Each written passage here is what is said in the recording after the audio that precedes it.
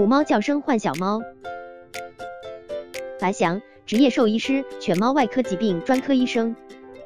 在日常生活中，猫有很多种叫声，不同的叫声代表不同的意思。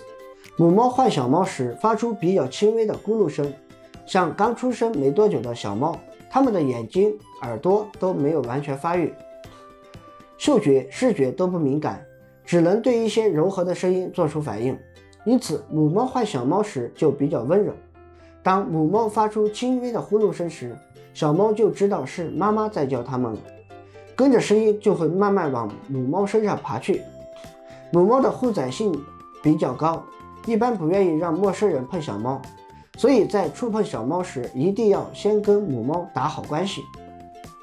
母猫带小猫时会需要很大的精力，同时能量也消耗得快，因此在这个阶段一定要给母猫增加营养。